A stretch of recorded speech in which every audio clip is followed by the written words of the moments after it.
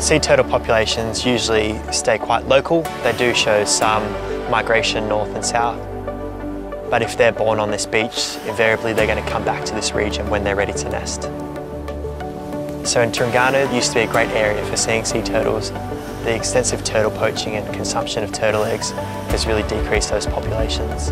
Once these species are on the decline or once we lose them in this area completely, um, basically they're not going to come back um, or it's going to take thousands of years for them to come back for this region.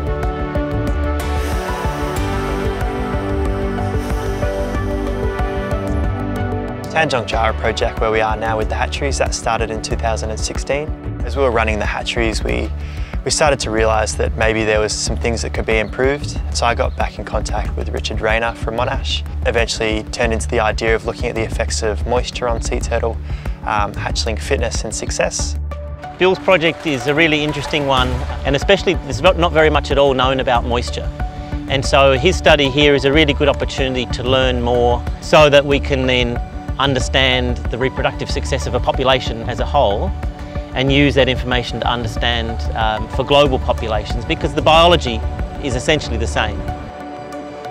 So when we bury 10 of the nests, we're actually putting in temperature sensors. This is really important because during the middle third phase of incubation, uh, the temperature of the nest actually affects whether the hatchlings are male or female. On top of the temperature, we're also looking at um, spatial orientation of the eggs. Uh, so when we're burying them, we're um, numbering each egg uh, as we place it into the nest to build a 3D model.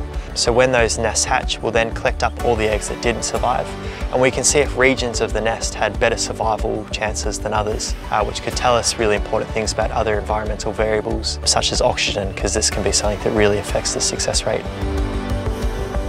being here as an intern, I feel very honoured to be here. Um, it is a fantastic opportunity for someone like me. Anyone who is really interested in conservation and ecology should definitely apply and you might find yourself here one day doing what I'm doing.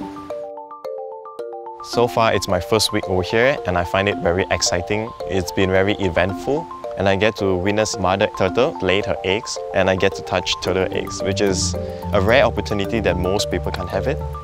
So after we've measured all of the hatchlings, we're going to take a subset and we're going to look at their crawling performance. So basically going to put them down a runway and time how long it takes them. Once they get out to sea, the first 24 hours is the time when they're most likely to get predated. So generally you lose about 50% of the hatchlings in the first 24 hours. So if you're producing hatchlings that are really strong and they can swim away from the shore a lot faster, that's going to increase their chance of survival. So after the hatchlings are done with the performance, obviously we want to give them the best chance of survival possible. Um, so we'll release them back out onto the sand where they'll crawl down to the sea and um, swim their way out into the open ocean.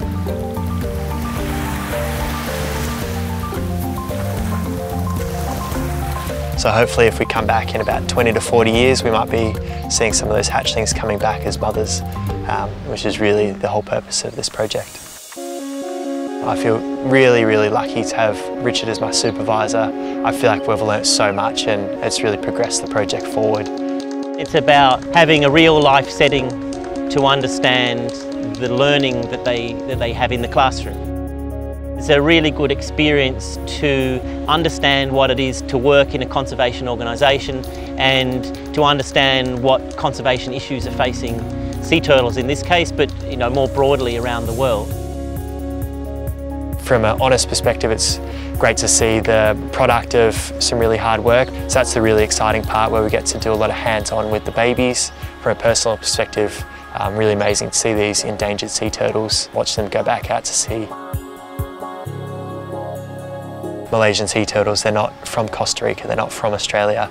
They might migrate there to feed, um, but when they come back to nest, it's going to be in the area where they were born. So once we do lose them, um, yeah, unfortunately, they're gone. We're not going to be able to get them back. So if we don't change what's currently going on, um, there's a very big chance that those species are going to go extinct, similar to what's happening to the leatherback right now.